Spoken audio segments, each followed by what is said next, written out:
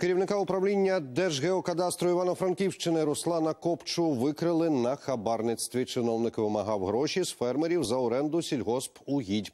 Він встановив тариф 100 доларів за гектар і системно брав гроші. До афери залучив свого родича. Той був посередником. Зловмисників затримали на гарячому під час отримання чергового хабара від агропідприємця.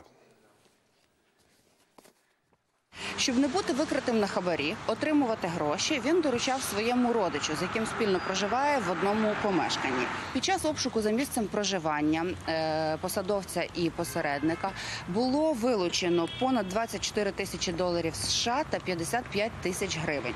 Встановлюються усі факти отримання незаконних коштів посадовцем та посередником.